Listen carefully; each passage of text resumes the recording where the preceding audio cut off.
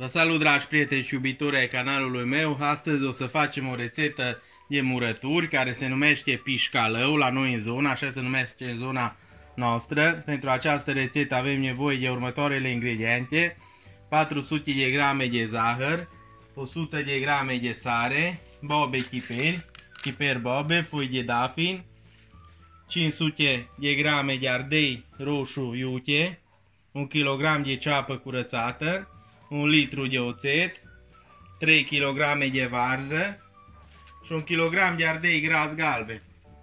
Haideți să începem să-i dăm bătaie.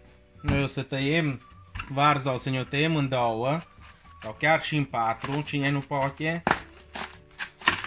Eu o să o tau în două și o să dăm varza, o să o dăm pe dealău, pe acest obiect, care la noi în zonă se numește dealău.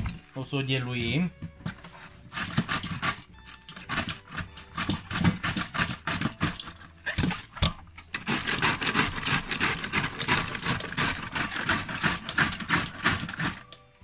Așa trebuie să arată fideluțe. E așa o să iasă, așa vom proceda cu toată varza. Dragi prieteni, cei care nu aveți astfel de obiect, puteți să o tăiați la mână, să o tăiați fideluță din cuțit, să o tăiați la mână. Nu este nicio problemă. Dragi prieteni, ceapa vom tăia sulgișori.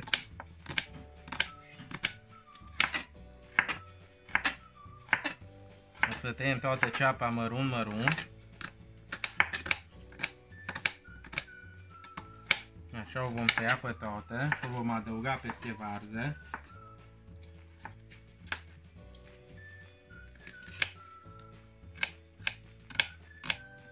Acum vom curăța ardei grași, o să-i curățăm pe toți.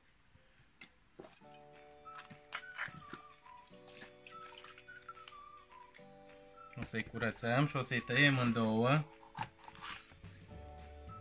După ce îi tăiem în două, îi tăiem feliuțe. Așa o să-i tăiem pe toți și aruncăm peste ceapă. Am terminat și ceapa de-o tăiat.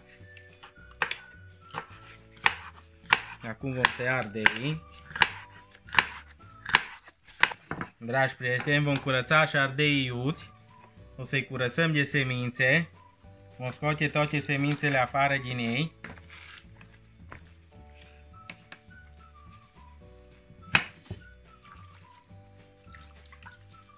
Așa vom proceda cu toți, le vom scoate toată sămânța. Vă sfătuiesc să vă puneți niște mănuși pe mână, pentru că ardei fiind iuți, să nu puneți după aia mâna la ochi să vă usture. Așa vom proceda cu toți ardei iuți, îi curățăm, după care îi tăiem mărunt și pe aceștia și punem peste, peste varză, peste ceapăș și peste ardeiul gras. Vom tăia și ardeii roșii iuți, vom tăia tot așa fâșii micuțe și vom pune peste celelalte legume, peste varză, peste ceapă, peste ardei. Așa îi tăiem. Dragi prieteni, această rețetă de murături, practic este o rețetă veche pe care am învățat-o de la o vecină, de la o bătrână. Este o rețetă puțin mai uite, mai pișcătoare, este foarte bună iarna, în special atunci când e sezonul gripelor și a răcelilor, pentru că ea este foarte pișcătoare, având ardei utenea, dar e o rețetă foarte bună, dulce, picantă. O rețetă pe care am învățat, eu încerc să caut femeile bătrâne care încă folosesc acele rețete vechi și încerc să culeg rețetele vechi din bătrâni, de la bunicii noștri, de la femeile bătrâne din sat rețete care încă nu s-au pierdut. De aceea vă sfătuiesc să o fac, doar că rețeta este puțin picantă. De aceea se și numește pișcalău, pentru că pișcă de la ardeiul iute. De acolo vine denumirea de pișcalău, pentru că fiind ardei iute, ea pișcă, e pișcătoare. Dragi prieteni, acum o să adăugăm zahărul. O să punem zahărul.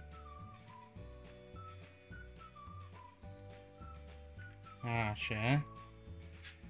O să adăugăm și sarea.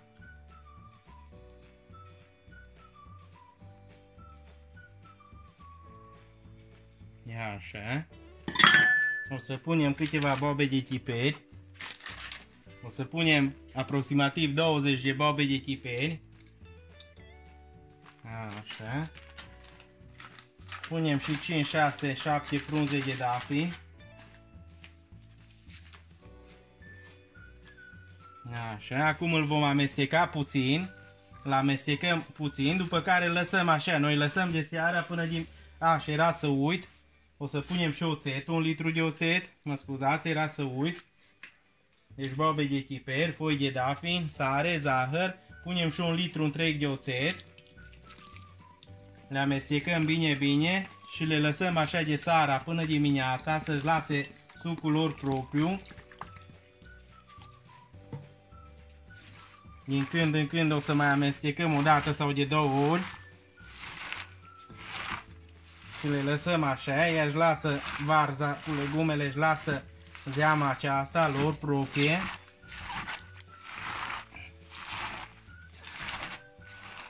Le lăsăm așa toată noaptea, iar mâine vom reveni cu alte imagini. Dragi prieteni, am lăsat pișcalăul până a doua zi. El așa și-a lăsat zeama, uitați câtă zeamă și-a lăsat. Această zeamă va veni la sfârșit pusă în borcanie, să nu cumva să o aruncați, pentru că aceasta practic este saramura de pe ei. Acum o să punem în borcanie, o să o stor bine bine și o să pun împreună cu soția, o să băgăm în borcanie. Iar la sfârșit, zeama care rămâne vom pune peste toate borcanele. Să știți că e o rețetă foarte bună de murături. Una dintre cele mai bune rețete, în special la copii le place foarte mult. Vă recomand să o încercați. Noi o folosim de zeci de ani de zile. Ne stă foarte bine. Toate rețetele pe care noi vi le arătăm pentru dumneavoastră sunt niște rețete care sunt fără conservanți și care stau foarte bine. Multă lume îmi scrie la secțiunea comentarii și la zarzavatul de tocănițe dacă poate să pună ceapă, țelină, tot felul. Oameni buni, eu rețetele pe care noi le facem, vi le dau exact așa cum le facem noi și care ne stau de ani de zile, de zeci de ani de zile le folosim și ne stau foarte bine pe iarnă. La fel și sarea, zahărul, toate cantitățile. Dumneavoastră faceți ce vreți, puneți cât vreți, dar nu vă garantez că o să vă stea. De aceea eu vă dau fix și tot timpul mă repet. Vă dau fix toate gramajele. Așa că fiecare pune și face cum vrea, dar aceste rețete care noi vi le dăm sunt sigure 100%, sunt și foarte bune și și stau pe iarnă. Așa vom proceda cu toate, vom umple borcanile, să vedem câte borcani ies, iar la sfârșit zeama o vom împărți peste borcane, o vom pune peste toate borcanile. Dragi prieteni, foarte important să puneți cu mâna, să nu puneți cu polonic sau cu altceva, să puneți cu mâna și să le apăsați bine, bine, ca să nu rămână goluri de aer, așa. Ele trebuie apăsate borcanile bine, bine, iar apoi vom pune zeama peste ele. Dragi prieteni, zeama care ne-a rămas o punem peste borcane și umplem toate borcanile. Așa vom proceda. O să le umplem bine, bine. Vă sfătuiesc să le umpleți și să le mai lăsați 5 minute, pentru că ele să uitați cum se răsuflă și să așează zeama. Și după 5 minute să le completați din nou. Așa procedăm. Cu toate, le umplem bine, bine. Am terminat de făcut pișcalăul nostru, gata, așa arată. Acum punem capacele și le vom strânge bine, bine, ca să nu prindă aer.